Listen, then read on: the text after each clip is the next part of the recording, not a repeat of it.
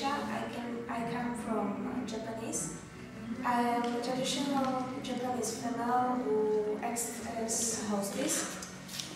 I like dance, sing uh, music, and I like entertain uh, other people. Uh, my uh, traditional clothes is kimono, as you see, and uh, I'm typical woman with white makeup.